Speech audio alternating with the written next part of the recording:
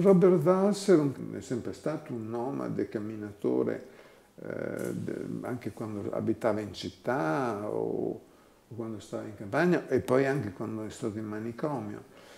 Eh, la questione è che io non leggo il tedesco abbastanza bene da eh, seguirlo nei, nei, suoi estri di, di, camminatore, perché anche quello è un estro no?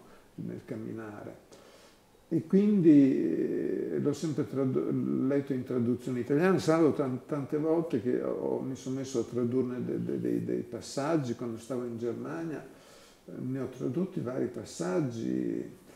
E poi soprattutto um, Walser, ecco, se, se, se c'è una cosa che, che, che mi attira verso Walser, ma purtroppo non riesco a penetrarlo, sono questi suoi microgrammi dove evidentemente c'è proprio questa cosa a cui punto, a cui, che è il fatto che nel, nello scrivere si perde lui, si perde e questo perdersi è proprio come un camminare a vanvera, un camminare a vanvera, andare per sentieri, eccetera.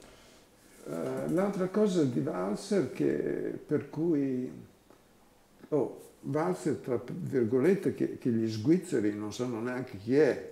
No? Questi svizzeri maledetti eh, hanno tutti i soldi che vogliono, ma dire Robert Walser, chi è Robert Walser? No, ma non sanno chi è Robert Walser. Eh, cosa che mi fa incazzare immediatamente, subito. Vabbè.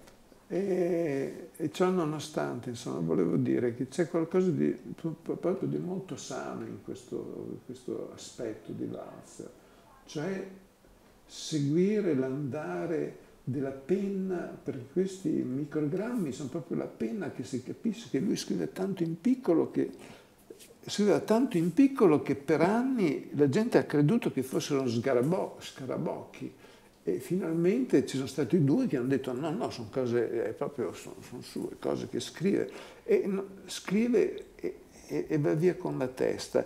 E questo andare via con la testa è veramente il parallelo dell'andare a camminare, quando si va a camminare d'estate. Poi il fatto che è meraviglioso di, di, di